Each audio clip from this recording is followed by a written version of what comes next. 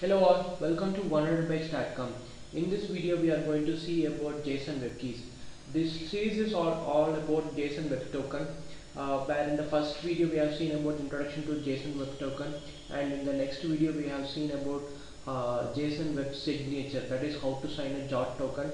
And next is a JSON web encryption that is about how to encrypt the JSON, uh, JWT token.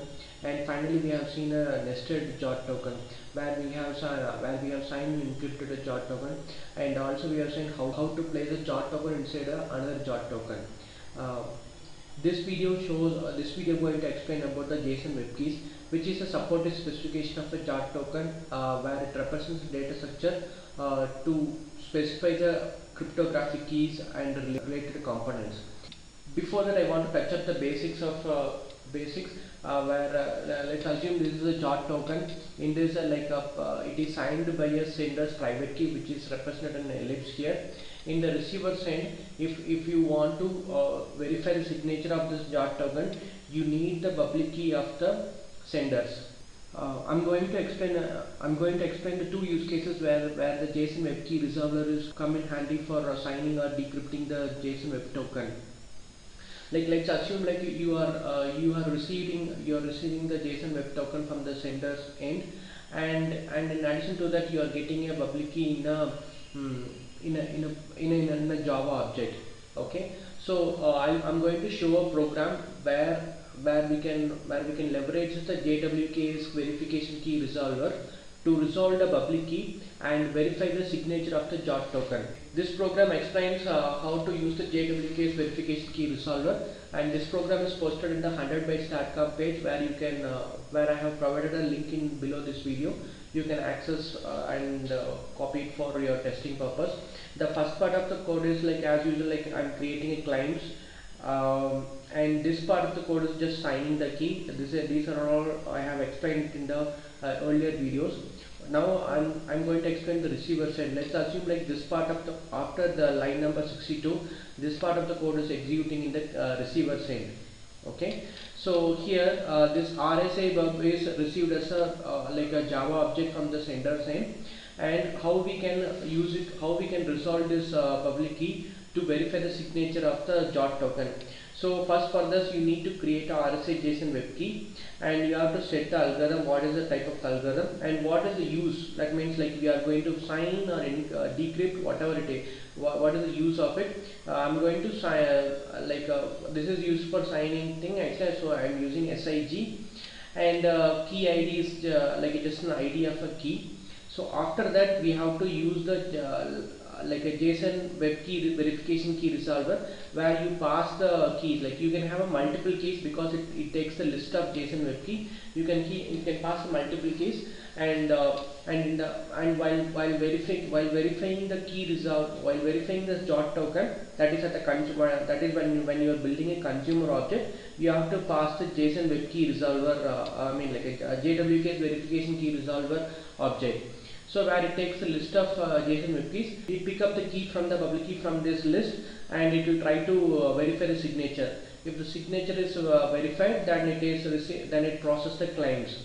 Okay, in our like as we have seen the verification that is for signature verification. Uh, is there is anything for de uh, decryption key uh, resolver? Yes, there is a there is an object there is a class called JWK's JWK's decryption key resolver can use this you can you can leverage this class to resolve the public key for decrypting the uh, JWT token. Let me run this program.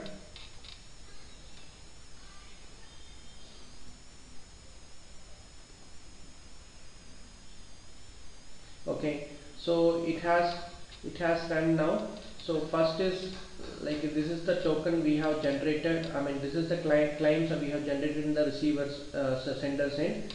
And in the receiver's end so with the help of that uh, JSON web key WKS verification key resolver, we have uh, we have we have uh, verified the token and we have processed the client. This is the signed JWT token which is sent from the sender side. Okay, so this is the one use case. In all the cases, like we can't receive the public key as a Java object. Uh, like in some cases, let's say like if you are communicating with the remote servers like Google or Facebook, you need the public key of those servers to verify the token and uh, there, there may be there may be a solution like uh, perhaps you can store those uh, uh, you can request those public key initially before communicating and you can store it in your trust store. But that is not a viable solution because like in any cases like if the if google or facebook or any remote server has changed their private key and you need to update your trust store accordingly and also like it is very difficult to manage like if you are start communicating with more than five or six servers five or ten servers uh, like uh, the key management is a very a very cumbersome process. So for that actually uh, you can we can use the uh, like one of the one of the class provided by the JWKs uh, where we can access the public key from the server directly and resolve it and we can use it for verif verifying the signature verify or decrypting the uh, token. Let's assume like uh, like let me explain this. Uh, in the sender send they uh, this is sender send. They have sent a token to the receiver end and this token is signed by the private key uh, private key of the sender. So you need a you need a public key of the sender to verify the signature. For that uh, like um, uh, for that you can use the like uh, you, you can use the HTTPS JWKs that is the class which is used which is provided by the JWT like a JWT specification sorry JWK specification where we can access the uh, public key and resolve it. Uh, like in this case public key is served as a part of REST web service. That this is the location where I have uh, this is the location where I have posted the web services where it is going to show the public key of the JWT token which is signed by the sender. So here uh, this is hosted in the uh, local WebLogic. So you can see here. So it is a key RSA and uh, what is the uh, ID and what is the use uses for signing algorithms RSA. So this is a public key. So uh, like here this REST web services will serve this public key and we can we will see the, we will see in a Java program how we can access this uh, uh, this public key and verify the signature. So here so this is the code this code also I'm going to post in the uh, 100bytes.com page where I have provided the link. Below you can access that page for to get this program. So first off is like it's a sender hop where it is as usual like said building the claims and uh, and this is my the private key and signing the private key uh, I mean signing the JWT token with this private key okay? In the receiver send there is uh, receiver send you can see you can notice that I'm using HTTPS JWKs where the same link is provided which I shown in the browser. So this class will retrieve the public key from the uh, all the public keys from the uh, sorry all the keys hosted from the from the rest of the, from the from that service. So it will build a list and I'm printing the list for our testing and we have used the same JWK uh, case verification key resolver which we used in the last last use case and we can pass that list of thing and finally we will set it in the consumer building the consumer and will, this will help to verify the signature of the token.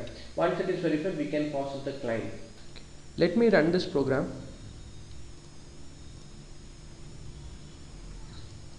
So here actually just initially we have this is under sender sender send where we have built the, the JWT token with the specified claims.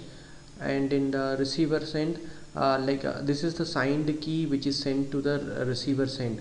And this is the uh, that for loop which we printed. That is like the keys which we uh, like using the https jwks uh, class we have uh, retrieved the key from the web server. I mean sorry from the remote server. And it get printed over here so which is similar to the this is the uh, for loop which print this part of thing. That means like here only one key is uh, served in the server so only one key is resolved. I mean sorry only one key is printed here. After that we have the the token is verified and the claims are processed and printed here. This is the way we can use the JWKs to resolve the keys which is hosted in the remote server or uh, you can uh, if you are getting it in the local object and verify and uh, decrypt the decrypt token thanks for watching this video. Visit 100bytes.com for more tutorials. Thank you